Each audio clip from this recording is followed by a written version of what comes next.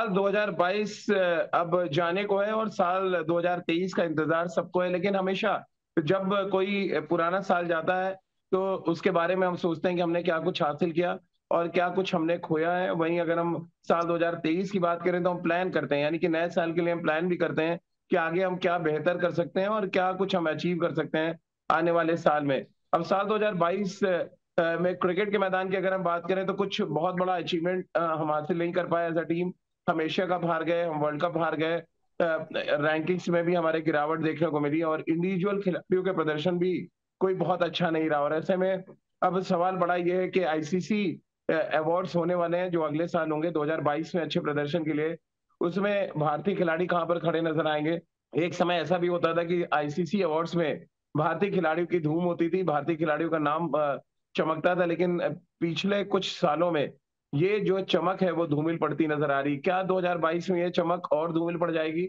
या कुछ खिलाड़ी ऐसे भी हैं जिनके अच्छे प्रदर्शन की चमक हम सब देख पाएँगे? इन सभी मुद्दों पे आज बहुत डिटेल में बातचीत करेंगे और अपने क्रिकेट एक्सपर्ट सभा भाई से ये जानेंगे कि उनके लिए साल 2022 के बेस्ट मोमेंट्स क्या थे और कहाँ पर भारतीय टीम लैग करती हुई नज़र आई और क्या कुछ अचीव किया एज अ टीम भारतीय टीम ने और क्या कुछ इंडिविजुअल खिलाड़ियों ने हासिल किया है।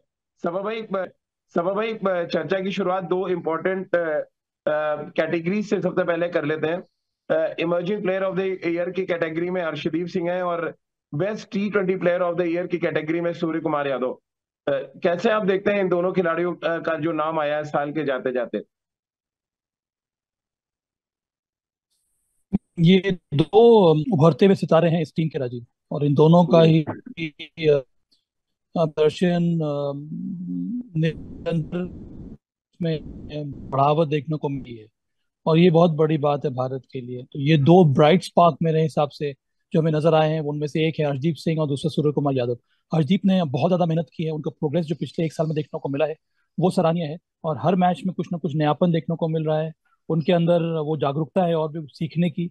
और ये सारी चीज़ें संकेत हमें मिल रहा है कि आने वाले समय में ये खिलाड़ी अगर इसी प्रकार से मेहनत करता रहा और अपने गेम पर काम करता रहा तो काफ़ी लंबे समय तक ये भारतीय टीम के लिए खेल सकता है। सूर्य कुमार यादव मुझे लगता है कि एक प्रकार से इन्होंने री इन्वेंट किया है कि टी ट्वेंटी क्रिकेट में किस प्रकार से बल्लेबाजी करनी चाहिए। ये मुझे लगता है कि पहली बार है कि हमारे किसी खिलाड़ी को किसी बल्लेबाज को दूसरी टीम देख रही है कि टी ट्वेंटी में बल्लेबाजी किस तरह से करनी चाहिए। अक्सर हम लोग दूसरी टीमों की तरफ़ देखते हैं कि हम एबी डिविलियर्स की तरह खेलना है या या फिर हमें गेंदबाजी इस प्रकार से करनी है, पर ये पहला मौका है टी ट्वेंटी में कि सूर्य कुमार यादव एक उदाहरण बनकर उभरे हैं कि आपको बल्लेबाजी किस तरह से करनी चाहिए टी ट्वेंटी में। देखिए सबा भाई, अगर हम T twenty player of the year की बात करें, बड़ा टफ कंपटीशन लग रहा है, क्योंकि जो और खिलाड़ी नॉमिनेट हुए हैं सूर्य कुमार यादव के अलावा जिन्होंने एक हज़ार एक सौ चौसठ रन बनाए इकतीस मैचों में, एक सौ सत्तासी का स्ट्राइक रेट रहा सूर्य कुमार यादव का साल 2022 में। सबसे ज़्यादा छक्के उन्होंने लगाए और दो शतक भी उन्होंने लगाए। इसके अलावा दूसरे नंबर पर जो खिलाड़ी हैं, वो सिकंदर रजा, उनको नॉमिनेट किया गया। उन्होंने बेहद शानदार प्रदर्शन किया, सात सौ पैंतीस रन उन्होंने बनाए और साथ ही गेंदबाजी अच्छी की है। सैम करन एक और बड़ा नाम जिनको वर्ल्ड कप में मैन ऑफ़ द टूर्नामेंट चुना गया था। वो एक और बड़े नॉमिनी है और चौथे नॉमिनी है मोहम्मद रिजवान। अगर हम उनकी बात करें, पाकिस्तान के ये प्लेयर है। रितेंद्र सिंह सोडी भी हमारे साथ जुड़ गए हैं। सभा भाई कैसे आप देख रहे हैं? वाकई कंपटीशन टफ लग रहा है और सूर्य कुमार यादव को सबसे ज़्यादा कंपटीशन देता कौन लग रहा है अभी? सैम करन राजीव जब से उनकी वापसी हुई है टी ट्वेंटी क्रिकेट में एक ऑलराउंडर है। उन्होंने वर्ल्ड कप में बहुत बड़ा योगदान रहा है इंग्लैंड के जीत में। उसके साथ साथ उनमें भी निरंतर मुझे लगता है कि वो इम्प्रूवमेंट देखने को मिल रहा है। तो मेरे हिसाब से सूर्य कुमार यादव और सैम करन देखिए अगर जो आईसीसी की जो चयन कमेटी है, जो इस पर डिसाइड करेगी, अगर वो देखेगी कि विश्व कप में किसका परफॉर्मेंस ज़्यादा अच्छा रहा है, तब मुझे लगता है कि सैम करन को नॉट मिल सकता है। पर अगर ओवरऑल हम पूरे साल में देखें, और अगर हम ये देखने की कोशिश करें कि कौन ऐसा खिलाड़ी है जिसने एक तरह से अपना परिभाषित किया है टी ट्वेंटी क्रिकेट को, और आने वाले समय में किस तरह से आपको टी ट्वेंटी क्रिकेट खेलनी होगी, तब मेरे विचार में ये जो ये जो अचीवमेंट है, ये जो रिवॉर्ड है, ये जो अवार्ड है, वो सूर्य कुमार यादव को मिलना चाहिए। रितेंद्र दो नॉमिनेशन आए हैं क्योंकि हमने जब चर्चा शुरू की तो बड़ा इंपॉर्टेंट मुद्दा था कि एज अ टीम तो हम साल 2022 में कुछ खास नहीं कर पाए हम एशिया कप हार गए हम वर्ल्ड कप हार गए लेकिन एज ए इंडिविजुअल खिलाड़ी क्या कुछ हम आ, हमारे खिलाड़ी हासिल कर पाए उसमें दो कैटेगरी जो आईसीसी अवार्ड्स की आती है उसमें एक Arshdeep Singh emerging player of the year के लिए नॉमिनेट है और Surya Kumar Yadav best T twenty player of the year कैसे आप देख रहे हैं? पहले T twenty player of the year पे हम चर्चा कर रहे हैं। सूर्य कुमार यादव ने लगभग बारह सौ रन बनाए एक सौ सत्तासी के स्ट्राइक रेट से। दो शतक थे और जैसा कि सभा भाई कह रहे हैं सबसे क्लोज कोई कॉन्टेस्ट होगा उनका तो वो सैम करन से होगा। जी हाँ राजीव देखिए बिल्कुल यहाँ पे अगर हम डिजर्विंग की बात करते हैं तो सूर्य कुमार यादव का जिस तरह ये साल बीता है टी ट्वेंटी क्रिकेट में ही has been a champion a superlative magnificent क्योंकि जिस तरह उन्होंने बल्लेबाजी की है उन्होंने देखिए चोटिल किया है प्रतिद्वंदियों को। आ, ऐसे ऐसे बोलिंग और टैक्स को उन्होंने इतना मारा है इतनी धुनाई उनकी की है आ, कि बयान नहीं की जा सकती है। किसी ने सोचा ना था कि सूर्य कुमार यादव का जो सूर्य है वो अंतरराष्ट्रीय क्रिकेट में इतना जल्दी उदय हो जाएगा इतनी जल्दी वो अपने आप को स्टैब्लिश कर लेंगे। वर्ल्ड लेवल पे उनकी बात होगी तो आज उनका जो नॉमिनेशन है उनको बहुत बड़ी बधाई। अब कोई भी जीते सैम करन जीते या सूर्य कुमार यादव जीते end of the day Surya Kumar Yadav की अब बात हो रही है वर्ल्ड स्टेज पे वो बड़ी बात है। तो हम सब यही उम्मीद करेंगे कि ऐसे ही सूर्य कुमार यादव का बल्ला बोलता रहे और जो हमें इंतज़ार है वर्ल्ड कप का आईसीसी ट्रॉफी का वो सूर्य कुमार की शानदार परफॉर्मेंसेज हमारे पास वर्ल्ड कप लेके आए। सभा भाई क्या जब आईसीसी अवार्ड्स होते हैं आपने भी कई आईसीसी अवार्ड्स देखे हैं आप समझते हैं बेहतर। क्या रैंकिंग का भी फ़र्क पड़ता है? और रैंकिंग का फ़र्क है तो सूर्य कुमार यादव ऑलरेडी बहुत अहेड है क्योंकि नंबर एक इस समय वो टी ट्वेंटी प्लेयर है आईसीसी रैंकिंग में। नंबर एक पर वही अगर हम ऑलराउंडर्स की कैटेगरी में जाएँ तो वहाँ पर जो सैम करन है वो चौथे नंबर पर नज़र आ रहे हैं सभा भाई। देखिए, आपने अगर आईसीसी रैंकिंग को लागू किया है तो उसका कुछ ना कुछ तो महत्व होना चाहिए। नहीं तो उसका कोई फ़ायदा नहीं है। फिर आईसीसी रैंकिंग नंबर एक नंबर दो खिलाड़ी होने का क्या है? आ, पर ये निर्भर करता है ये डिसाइड होगा आईसीसी को कि क्या आप नंबर वन रैंकिंग वाले प्लेयर को अगर आपको देना है वो ये वाला अवार्ड तो फिर हो सकता है कोई और आपको अवार्ड होना चाहिए। तो अपने अपने स्किल सेट में नंबर एक है उसको हम अवार्ड दे देंगे तो फिर तो किसी और किसी और चीज़ की आवश्यकता है नहीं। तो मुझे लगता है कि एक बार जब आप चयन करने बैठते हैं तो आप कई सारी चीज़ों का ध्यान रखते हैं। कि ये जो प्रदर्शन रहा है वो कब कब और कैसे आया है कौन से टूर्नामेंट में आया है? अंत में आईसीसी के जो विश्व कप के जो टूर्नामेंट्स होते हैं उनका महत्व बहुत ज़्यादा है। अब सिकंदर रजा को देख लीजिए आप। सिकंदर रजा की रैंकिंग ऊपर है पर उन्होंने ज़्यादातर जो मैचेस खेले हैं वो उतनी स्ट्रॉन्ग टीम के साथ खेले नहीं है। तो वहाँ पर हम्म। प्रदर्शन में मानता हूँ कि अच्छा रहा है सिकंदर रजा का पर आप उनकी तुलना सूर्य कुमार यादव और सैम करन से कर नहीं सकते हैं क्योंकि इनका मुकाबला बहुत ही स्ट्रॉन्ग टीम्स के साथ हुआ है डिफरेंट कंडीशन में हुआ है हम्म। वहाँ पर उन्होंने परफॉर्म किया है। तो इन सब चीज़ों का भी ध्यान रखना पड़ता है जब आप इस प्रकार के निर्णय लेते हैं तो। भाई अगर मैं आपको ज्यूरी में रखूँ क्या आप किसको आप चुनना पसंद करेंगे? T twenty player of Surya Kumar Yadav without any doubt Rajiv अच्छा। क्योंकि मैं बार बार ये ये बात मैं कह चुका हूँ कि एक ऐसा खिलाड़ी जिसने रीडिफाइन किया है टी ट्वेंटी क्रिकेट को जिस तरह से आपको बल्लेबाजी करनी चाहिए उसका मेरे हिसाब से नंबर एक आता है। सैम केरल ने अच्छा प्रदर्शन दिया है पर उनके पास जो स्किल सेट है वो हम लोगों ने पहले भी देख देखा है। पर इस तरह हाँ। से अलग प्रकार की बल्लेबाजी करना और ये ये निशा निर्देश देता है आने वाले समय में। आने वाले समय को कि आने के जो यंगस्टर्स हैं जो जो टी ट्वेंटी क्रिकेट खेल रहे हैं बल्लेबाजी कर रहे हैं उनको इस इस प्रकार से आगे लेकर जाना होगा। जिस तरह से मुझे लगता है सूर्य कुमार यादव ने भी डिविलियर्स को देखा है बल्लेबाजी करते हुए। हाँ। तो ये एक एक बहुत बड़ी पहचान है। और मुझे लगता है कि इस पहचान को सम, को सम्मान देना बहुत ज़्यादा आवश्यक है इस समय। रितेंद्र आपको अगर ज्यूरी में रखा जाए आपका वोट किसकी तरफ़ जाएगा? क्योंकि दो बेहद बड़े परफॉर्म करने वाले हैं साल 2022 में। सूर्य कुमार यादव सैम करन के बीच में कड़ी टक्कर देख रहे हैं। वही रिजवान ने भी बहुत अच्छा प्रदर्शन किया है throughout T twenty format Rajiv अगर आप मुझे जूरी में रखेंगे पहले तो राजकुमार जी मुझे आने नहीं देंगे जूरी में। आप जानते हैं। लेकिन ये तो ऑन लाइटर नोट है। लेकिन यहाँ पे राजीव कंपटीशन तो बड़ा है। बट कहीं ना कहीं मुझे लग रहा है एज होगा सैम करन का। क्योंकि जिस तरह उन्होंने परफॉर्मेंस दी है और जैसे अभी आईपीएल के ऑप्शन की बात करें हाल में जैसे फ्रेंचाइजीज टूट के इनके पीछे पड़ गई थी तो इनकी जो वैल्यू है वो इस समय बहुत बड़ी हुई है। और परफॉर्मेंस भी उन्होंने बहुत ज़बरदस्त दी है वर्ल्ड कप में दी है। तो वहाँ पे आपकी परफॉर्मेंसेज रिकग्नाइज होती हैं। और यही अगर सूर्य कुमार यादव ने हमें वर्ल्ड कप जिताया होता भारतीय टीम वर्ल्ड कप चैंपियन होता हम्म। और उनका नाम नॉमिनेशन में होता तो शायद it could be Surya Kumar Yadav any day But now, considering the performances of Sam Curran in the World Cup, in the all important World Cup, Sam Curran लगता है बाजी मार जाएँगे। चलिए तो रितेंद्र ने अपना वोट जो है दिया है सैम करन को ये मान लिया जाए रितेंद्र? जी मान ही आप लिख लीजिए, पक्का, क्योंकि क्रिकेट के आधार पे हम बात कर रहे हैं। ज़रूर हमारा दिल बिल्कुल हमारे भारतीय खिलाड़ी सूर्य कुमार यादव के साथ है, लेकिन अगर हम सब्सटैंशियल परफॉर्मेंसेस इम्पैक्ट की बात करें, और ये इस साल की हम बात कर रहे हैं, और World Cup has to be the criteria अब बड़ा आधार होगा वर्ल्ड कप तो वहाँ पे सैम करन देखिए, सूर्य कुमार यादव से वर्ल्ड कप में तो बहुत आगे हैं, और मुझे लगता है वहाँ पे वो पॉइंट्स थोड़े से ज़्यादा ले जाएँगे। सभा भाई, ये तो रितेंद्र ने एक नई बहस छेड़ दी है कि वर्ल्ड कप में क्योंकि मैन ऑफ़ दी टूर्नामेंट थे, इसलिए सैम करन जीतेंगे। बट आंकड़े तो जो सूर्य कुमार यादव के साल 2022 में है सभा भाई, वो ज़बरदस्त है। इकतीस मैचों में एक हज़ार एक सौ चौसठ रन, एक सौ सत्तासी का स्ट्राइक रेट साल में सबसे ज़्यादा छक्के लगाए हैं सूर्य कुमार यादव ने, किसी भी बल्लेबाज से ज़्यादा। दो शतक उन्होंने टी ट्वेंटी फॉर्मेट में लगाए और नौ अर्शतक रितेंद्र, ये तो मैंने बता दिया सूर्य कुमार यादव का आंकड़ा। अब मैं आपको सैमकरण के आंकड़े बता देता हूँ, फिर आप फाइनल फाइनल कीजिए।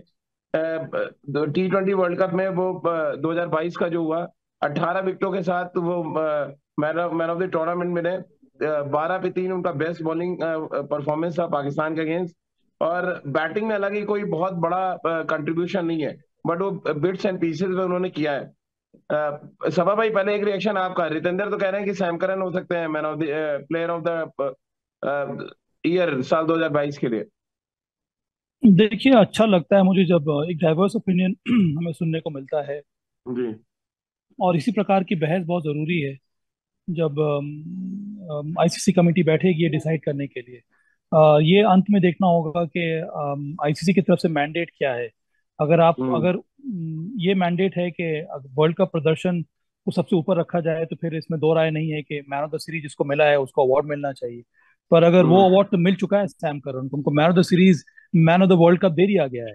हम हम देख रहे हैं यहाँ पर पूरे साल भर का प्रदर्शन।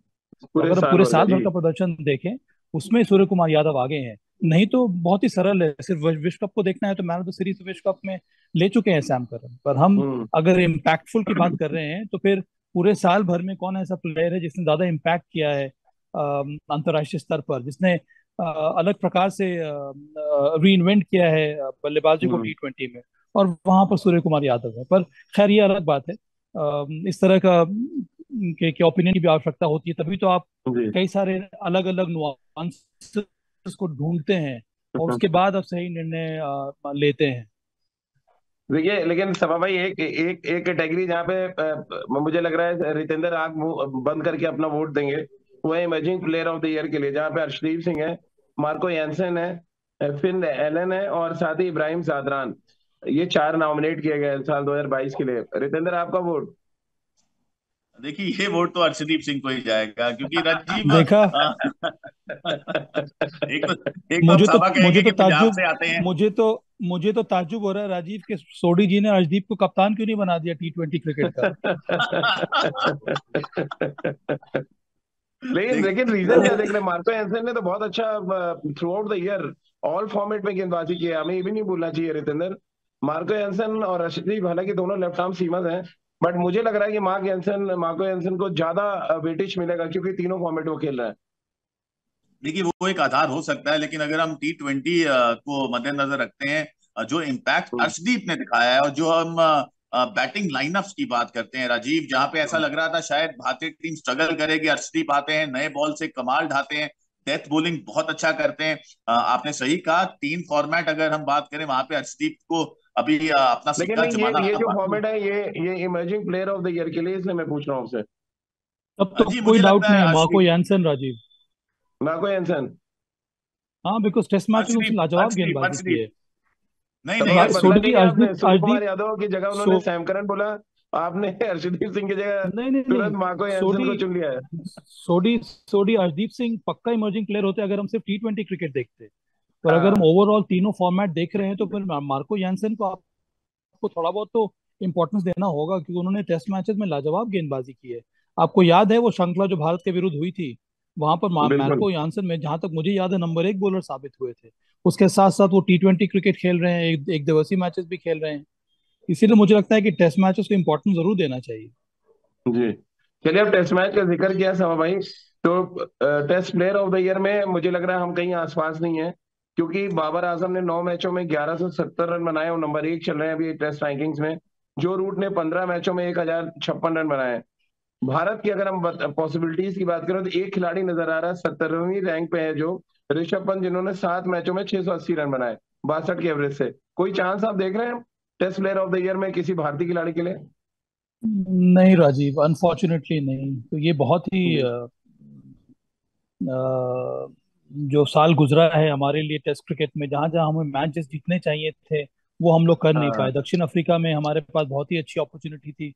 वहाँ पर हम मिस आउट कर गए। इंग्लैंड में एक और हमारे पास अवसर था। जी। भी गवा दिया। परफॉर्मेंस की अगर हम बात करें तो एकमात्र खिलाड़ी जो ऋषभ पंत जिससे जिसने लाजवाब बल्लेबाजी की है और विकेट कीपिंग भी काफ़ी अच्छी की है। उसके अलावा हम्म। मुझे ऐसा कोई स्टैंड आउट परफॉर्मर देखने को मिल नहीं रहा है। श्रेयस अय्यर ने भी शुरुआत की उन्होंने रन बनाना शुरू किया है। पर उसके अलावा और कोई ऐसा इम्पैक्टफुल खिलाड़ी मुझे देखने को नहीं मिल रहा है। अगर हम इस साल की बात हम्म। करें तो। रितेंद्र, थोड़ा सरप्राइज़ है कि हम आईसीसी जो वर्ल्ड टेस्ट चैंपियनशिप चल रही है, उसमें हम नंबर दो पे चल रहे हैं हाल फ़िलहाल। लेकिन हमारे अगर प्लेयरों की परफॉर्मेंस की बात करें इंडिविजुअली एक भी प्लेयर ऐसा नहीं है जिसको हम test player of the year की कैटेगरी में रख पाए। आ, बिल्कुल राजीव और अभी आप ऋषभ पंत की बात कर रहे हैं वो देखिए वो तो स्ट्रगल बहुत बड़े तरीके से कर रहे हैं तो अब उनका चांस होना और जैसा रिकॉर्ड भी है और जैसे... मैं test cricketer of the year की बात कर रहे थे वहाँ उन्होंने बहुत अच्छा किया है। भारत के एकमात्र खिलाड़ी हैं जो अपना दावा रख सकते हैं। नहीं लेकिन लेकिन अगर हम उनको चुनने के लिए जाए कि वहाँ पे वो बाजी मारेंगे तो बहुत दूर है क्योंकि अगर जो रूट की हम बात करें बाबर आज़म की बात करें वो बहुत आगे निकले हुए हैं बहुत रन उन्होंने बनाए हैं। तो ये अनफॉर्चुनेटली हम्म। है बिल्कुल क्योंकि हम हमेशा चाहेंगे कि test cricket the real cricket वहाँ पे भारतीय खिलाड़ी शामिल हो हमने बहुत बार देखा सचिन तेंदुलकर के एरा में तेंदुलकर गांगुली विराट कोहली बहुत बड़े बड़े नाम इस श्रेणी में हमेशा रहे हैं लेकिन इस बार ऐसा नहीं है तो वहाँ पे भारतीय क्रिकेट ज़रूर ये सोच रही होगी कि टेस्ट क्रिकेट में हमें इंप्रूव करना होगा। टेस्ट क्रिकेट में हमारे लड़कों को बढ़ चढ़ के रन बनाने होंगे। हो सकता है आने वाले समय में सूर्य कुमार यादव जो एक बड़े ऑल फॉर्मेट प्लेयर बन सकते हैं वो टेस्ट क्रिकेट में अपना सिक्का जमाए। लेकिन जी हाँ that is a cause of concern that is a big cause of concern और वहाँ पे भारतीय टीम ज़रूर जल्द से जल्द एड्रेस करना चाहेगी। तो अगर test cricketer of the year चुनना हो तो आपको क्या लग रहा है रितेंद्र? बाबर आज़म और जो रूट में से किसको आप चुनना पसंद करेंगे? राजीव मुझे लगता है हमेशा से जो रूट जो क्लास पर्सोनिफाइड क्रिकेटर हैं जो कमाल वो हम्म। उठाते हैं जो उनका इम्पैक्ट है आ, कुछ सचिन तेंदुलकर की तरह ऐसा लगता है वो आएँगे तो सौ रन तो कभी भी बना देंगे। And in twinkling of an eye वो बना भी देते हैं। बड़े बड़े सिचुएशंस हम्म। में he has he has it in him to see his team through तो जैसे उनका रिकॉर्ड अभी आपने बताया है बिल्कुल उनका रिकॉर्ड काफ़ी यहाँ पे अच्छा नज़र आ रहा है और वो बाजी मार सकते हैं लेकिन बाबर आज़म जी हाँ उनके भी रन बोलते हैं और परफॉर्मेंसेज इज़ दी क्राइटेरिया जब ये अवार्ड दिया जाता है। तो क्लोज फाइट होगी but my vote will go to Joe Root आप आ, आपको क्या लग रहा है सभा भाई बाबर आज़म या जो रूट में से कौन जीत सकता है? देखिए अब आंकड़ों की तो बात हम लोग करते आते हैं पर अंत में देखना ये होता है कि मैच विनिंग परफॉर्मेंस किसका रहा है? हाँ। बाबर आज़म एक शानदार खिलाड़ी उन्होंने रन बनाए हैं पर किस कंडीशंस में बनाए हैं कंडीशंस किस प्रकार के थे? अगर इन सब चीज़ों को अगर हम देखेंगे तो जो रूट ने जो रन बनाए हैं वो चैलेंजिंग कंडीशन में उन्होंने रन बनाए हैं। अब फोर्थ इनिंग्स हंड्रेड आपको याद होगा जो उन्होंने भारत के विरुद्ध बनाया था। उस तरह की पारी कहाँ आपको देखने को मिलती है? और और जो रूट ने शानदार प्रदर्शन किया है नंबर तीन नंबर चार पर आकर खेलते हुए।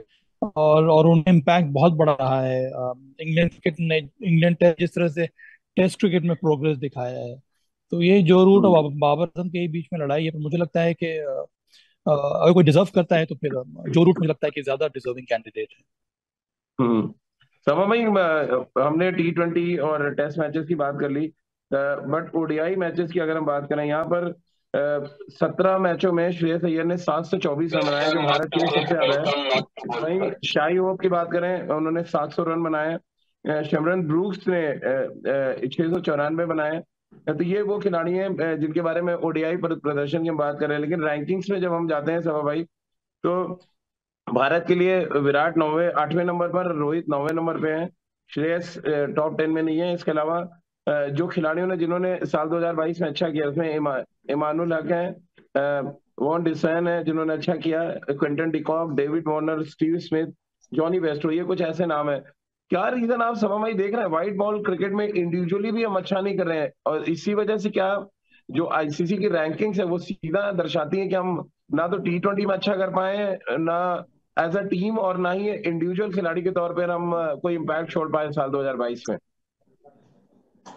बहुत बड़ा असर पड़ता है राजीव। अगर आप अगर आपकी टीम में मैं मानता हूँ कि क्रिकेट एक टीम स्पोर्ट है पर टीम स्पोर्ट में जीतने के लिए आपको इंडिविजुअल परफॉर्मेंस की ज़रूरत होती है जो इस हाँ। साल देखने को मिला नहीं है।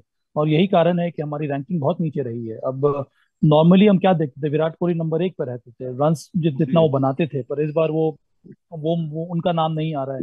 मैचेस खेले हैं तो उतना नाम वो नौवे नंबर पर है। उसी प्रकार से रोहित शर्मा का नाम नहीं आ रहा है। उसके उसके ऊपर से ये दोनों खिलाड़ियों ने बहुत ज़्यादा ब्रेक लिया है बीच बीच में। उतने सारे मैचेस खेले नहीं है। आ, वो हम्म। भी एक कारण है राजीव। उसके अलावा जो जो खिलाड़ियों ने रन बनाए भी हैं पर उस हिसाब से रन बनाए नहीं है। और बहुत ही ये डायरेक्ट इस पर इफ़ेक्ट पड़ता है टीम के परफॉर्मेंस के ऊपर। तो मैं हम्म। आशा यही कर रहा हूँ कि आने वाले समय में जब तक विश्व कप हो विश्व कप जो होने वाला है वहाँ पर जितने सारे एक दिवसीय मैचेस हों वहाँ पर कम से कम ये दोनों खिलाड़ियों को भाग लेते रहना चाहिए। इन लोगों को ब्रेक की हम्म। ज़रूरत नहीं है। और रिटेंडर बॉलिंग में भी कुछ वैसे ही हाल है। बैटिंग में जो हम रैंकिंग देख रहे हैं बॉलिंग में भी कोई अक्सर होता है ना कि आप साल में दो तीन परफॉर्मेंसेस ऐसा देखते हैं जो इसके बारे में आप चर्चा करते हैं, जिसको आप, जो आपके जहन में रहता है। साल 2022 में एक भी परफॉर्मेंस ऐसा नहीं है। एक ऋषभ पंत की मुझे इनिंग्स याद आती है जो उन्होंने इंग्लैंड में खेली थी ओडीआई क्रिकेट में जब उन्होंने मैच जिताया था। उसके अलावा कोई ऐसा इम्पैक्ट नहीं दिख रहा है इंडिविजुअली किसी भारतीय खिलाड़ी का। जिसकी वजह से हम कह पाए कि ये, चलिए आईसीसी अवार्ड्स में या साल 2022 में टीम ने बड़ा इम्पैक्ट नहीं डाला, लेकिन प्लेयर्स ने डाला है। सूर्य कुमार यादव एक बड़े नाम है जिनका इम्पैक्ट साल 2022 में रहा। अदरवाइज़ बॉलिंग बैटिंग हर जगह निराशी हुए हम साल 2022 में। जी हाँ बिल्कुल राजीव, आपने सही कहा। 2022 हमारे लिए इतना अच्छा नहीं घटा है। और यहाँ पे जिन लड़कों का हम नाम ले रहे हैं, जिन्होंने यहाँ पे अपना इम्पैक्ट दिखाया है देखिए, वो सब वो लड़के हैं जिन्होंने अपने दम पे कंसिस्टेंटली अपनी टीम को मैच जिताए हैं। और यहाँ पे अगर भारतीय टीम की बात करते हैं, हमने स्ट्रगल किया है क्योंकि हमारे लड़के ज़्यादा यहाँ पे उठ के नहीं आए हैं इंडिविजुअली परफॉर्मेंसेज नहीं आई हैं, बड़े नॉक्स नहीं आए हैं। क्रुशियल स्टेज पे जहाँ पे ज़रूरत थी कि हमारे दिग्गज आके रन बनाए वैसा नहीं हुआ है। हमें मुँह की खानी पड़ी है। तो ये प्रत्यक्ष को प्रमाण की ज़रूरत नहीं होती। राजीव देखिए सामने है। अगर हमारी टीम 2022 में अच्छा करती वनडे क्रिकेट में टेस्ट क्रिकेट में हमारे दो तीन लड़कों की बात हो रही होती लेकिन ऐसा नहीं हो रहा और वहाँ पे अब भारतीय टीम ज़रूर काम करना चाहेगी। क्योंकि देखिए अगर आपके लड़के सौ बना रहे हैं आपके लड़के विकेट्स निकाल रहे हैं तो आप जीतते भी हैं। So team depends on players और रिजल्ट्स भी प्लेयर्स की परफॉर्मेंस से आते हैं। तो हम सब यहाँ पे ज़रूर काम करना चाहेंगे और देखिए अगर ऐसा हो जाता है कि हमारे प्लेयर्स अगले साल दो तीन प्लेयर टेस्ट रैंकिंग में ऊपर आते हैं वनडे रैंकिंग में आते हैं टी ट्वेंटी में सूर्य कुमार यादव के साथ और दो तीन आते हैं। तो definitely yes that is prospering for team India and that is what we are targeting at the moment सभा भाई चलते थे आखिरी दो दो सवाल आपसे लेंगे। एक तो बॉलिंग की मेरे पास आईसीसी की रैंकिंग है ओडीआई क्रिकेट की? हमारे बड़ा हैरानी है कि साल 2022 में अठारवे नंबर पर जो गेंदबाज है वो जसप्रीत बुमराह है। टॉप ट्वेंटी में नहीं तो बुमराह के अलावा एक भी नाम नहीं है। ये तो मतलब ऑलमोस्ट सारी कहानी कहता है कि कहते हैं गेंदबाज मैच जिताते हैं और गेंदबाजी आपके टॉप ट्वेंटी जो आईसीसी के गेंदबाज हैं उनमें सिर्फ़ जसप्रीत बुमराह है अठारवे नंबर पर। इसका दो कारण है राजीव। एक तो हमारे जो मेन बॉलर्स उन्होंने सारे मैचेस खेले नहीं है चाहे वो जसप्रीत हाँ। बुमराह हो या फिर मोहम्मद शमी हो या तो चोटिल रहे या फिर उतने सारे मैचेस खेले नहीं। भुवनेश्वर कुमार को खिलाया गया भुवनेश्वर कुमार एकमात्र ऐसे बॉलर हैं जिनका प्रदर्शन उतना अच्छा नहीं रहा है। और और, और, और दूसरी बात यह है कि हम लोगों ने बहुत सारे बॉलर्स को इस बार इस बार यूज़ किया है। और ऐसा बहुत कम लगा है मुझे कि कि एक एक या दो बॉलर्स को लंबे समय तक मौका मिला हो। एक एक दौरे पर वो प्लेयर जाता है फिर उसको बाहर कर दिया जाता है। मैं गेंदबाजों की बात कर रहा हूँ।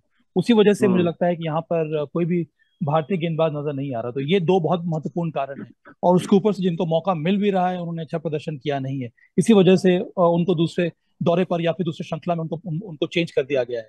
तो ये एक हम्म। एक, एक, एक बहुत ही कठिन दौर गुजरा है भारतीय टीम के लिए और इसीलिए बहुत ज़रूरी है कि